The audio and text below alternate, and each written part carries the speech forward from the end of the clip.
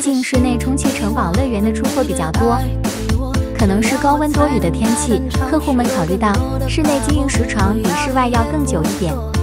在开着空调的凉爽商场里经营，除了不用考虑天气问题以外，更不用担心客流。在假期里，各种大型商超肯定是人头攒动，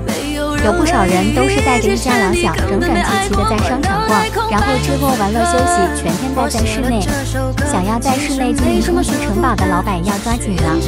趁着暑假即将开启，此时正是投资好时机。